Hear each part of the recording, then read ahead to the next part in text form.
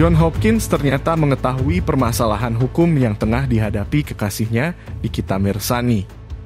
John Hopkins tampak heran ketika rumah Nikita Mirsani itu sampai disantroni sejumlah polisi pada Rabu, 15 atau 6 Pukul 3.00 waktu Indonesia Barat akibat berstatus terlapor kasus dugaan pelanggaran UU ITE dan pencemaran nama baik. Nikita Mirsani bercerita, John Hopkins merasa heran karena sikap penyidik Polresta Serang Kota yang sampai melakukan pengepungan. Mirip hendak menangkap teroris.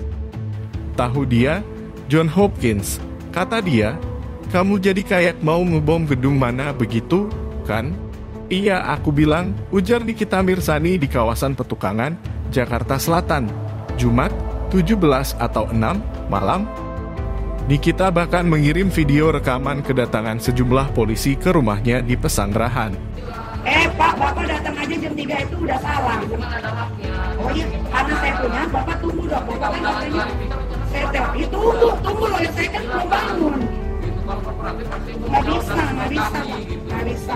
Reaksi pria kelahiran 22 Mei 1983 itu malah tertawa dan menyebut Nikita Mirtani sosok hebat.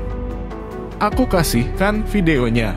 Dia ketawa, kamu hebat banget, sambungnya namun, menurut Nikita Mirsani, kekasihnya itu tak terlalu paham dengan mekanisme hukum di Indonesia. Meski begitu, pria usia 39 tahun itu tetap memberikan semangat kepada sang kekasih dia tuh kalian tahulah gue strong banget. Jadi, begitu saja kata Nikita Mirsani.